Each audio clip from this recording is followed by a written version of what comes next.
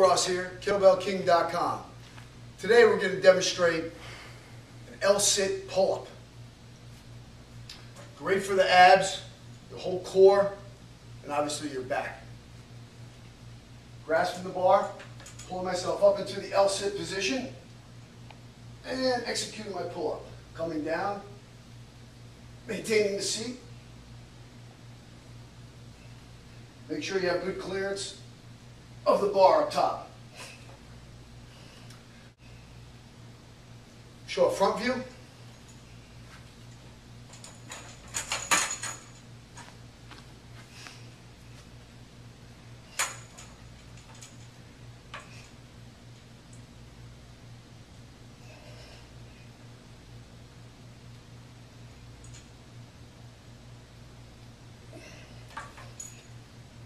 L-sit pull-up.